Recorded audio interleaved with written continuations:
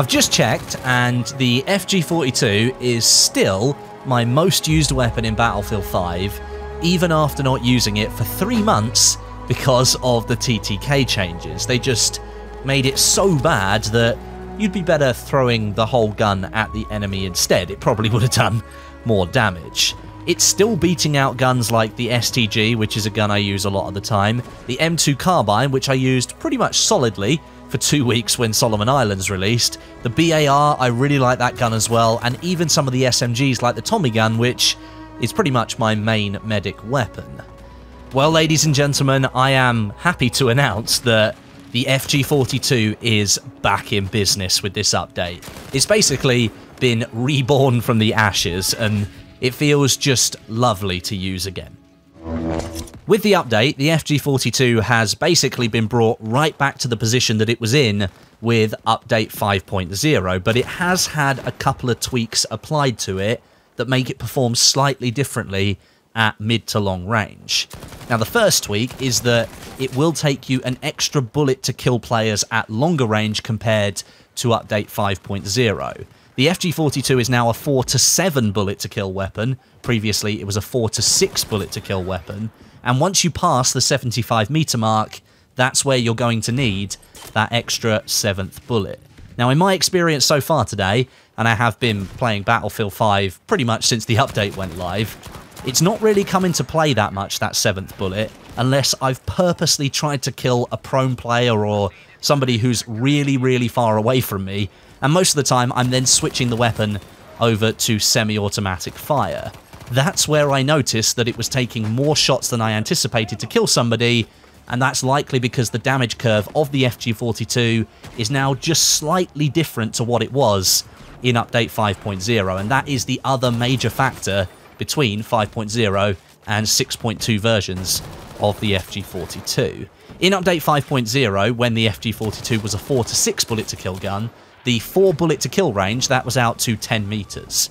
After that, up to 50 meters, you needed 5 bullets to kill, so there's quite a big window there where you only needed 5 bullets to kill somebody. Then between 50 and 75 meters, the damage dropped off to 6 bullets to kill, and that's after the 75 meter point you absolutely needed that 6th bullet.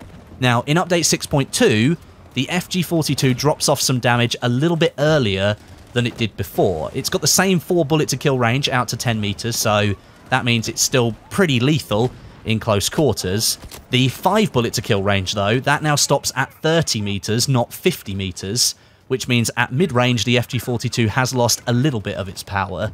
And then between 40 and 75 meters, you're going to need 6 bullets to kill, and then after 75 meters, that's where you're going to need that 7th bullet. These changes do mean that the FG42 is now slightly less of a monster compared to its 5.0 state, but in my experience so far, I haven't really noticed the bullet to kill differences apart from those longer range combat scenarios, where most of the time anyway, I'm not actually expecting to kill anybody with the FG42. It still feels like an extremely competent and an extremely fun weapon to use. Now, the added recoil that DICE has reintroduced with this patch as well, that has certainly brought back more challenge to the FG42. It is more difficult to control now.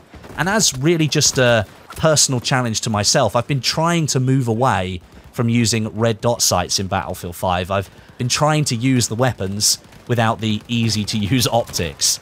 And now trying to do that with the FG42 using those iron sights, it is much harder than it was before the update. The recoil really kicks up when you engage fully automatic fire, and anything outside, I'd say maybe 30 meters or so, you're going to notice the gun kick up and kick off of targets as well. So that's where a bit of bursting control is needed to keep the weapon steady. This kind of mimics the behavior of the weapon in Update 5.0. You still needed to control the weapon in longer range gunfights, but now, due to that slightly reduced damage at mid-range and long range, you are going to need to keep the weapon on target just a fraction longer before you land that killing shot. Now, you will of course notice that I'm not actually using the iron sights of the FG42 here. The recoil was severe enough that I actually moved away from the iron sights because they really aren't very good with the FG42. They are, frankly, quite rubbish. So I kind of failed a little bit and I moved over to the AA sights, which I guess is still better than using a red dot sight if I'm going to stick with my challenge. And that did give me a clearer view, but obviously it doesn't give you the exact clear view that you get with a red dot sight. And once I made that switch, I was able to land more shots on target with better visibility. The whole package of the FG42, the high rate of fire, the high damage, the high recoil, and the low ammo count, that to me, straight off the bat, just sounds like a really challenging weapon to use. You have to balance the amount of ammunition that you've got in your magazine with the targets in front of you. You can hit zero bullets very quickly with the FG42 because it fires so fast. I always found it particularly satisfying in the past with Update 5.0 and all the time that I spent playing Battlefield 5 before everything changed that if I managed to land two kills per magazine with the FG42, that that would be really satisfying as a gameplay moment because you're quite likely to miss a few shots. They won't always land on target. And because this gun fires so fast, two or three bullets can have left the gun before you even realize, and then you start to correct your aim. So that sort of feeling where you get two kills per magazine and it feels pretty awesome. That feeling came back today when I was using the FG42. It felt like an achievement to use the gun in that way and get two kills per magazine. So I was kind of going against the way you should use the weapon, but that was a challenge for me and it felt good when I succeeded. So, like I said, the FG42 is back and, in my opinion, it's just as good as it was before. Now, besides the updated weapons, I will be making more videos over the next couple of weeks with my opinions on lots of different weapons that have now changed in Battlefield 5. I do want to talk about a few other things in Update 6.2 that are worth mentioning to you today because some of these things weren't known before the update went out. So they kind of just got announced when the update went live as opposed to being included in the patch notes. First of all, DICE has taken the decision to enable Tides of War progression in the community game servers. Apparently, they heard the feedback from when the feature launched that players would really like to create their own map and mode rotations so they can complete the weekly challenges in game modes and on maps that they want to play instead of using the highlighted playlist or game mode or whatever. They could create their own and they could do those unlocks there. Previously, you couldn't do that. As of update 6.2, Tides of War progression in community games is now enabled. So this, for me, strikes off one of the several issues that community games had, and it takes the system a little bit closer to the place that it really needs to be to properly support communities that want to have a home in Battlefield 5. The system still needs persistent server instances that won't go away when the server empties, it needs more admin tools so that people can control the situation on their own server, and it needs plenty of settings and modifiers to allow owners to really curate the experience that they want from Battlefield 5. Now, DICE is still working on the community games feature, and actually we are waiting for some sort of communication about what we're going to see next, because, as I said, they are still developing it. The last we heard from the team was they felt it needed more work and they'd be back in the new year with more details. So we're now in March and we haven't heard anything yet. Let's hope it's not another tank body customization deal where it takes over 400 days for it to get to Battlefield 5. I hope it won't. I'm sure it won't, but I kind of like that communication. That'd be nice. Next, the coming soon tank body customization for the Sherman. That's now active as a reward in Battlefield 5 just for logging in. You can see it here. It's actually been renamed to Flagship and it comes with the Iwo Jima tank paint job as well, so all you have to do is log into Battlefield 5 and then go into the armory and it will pop up as unlocked for you.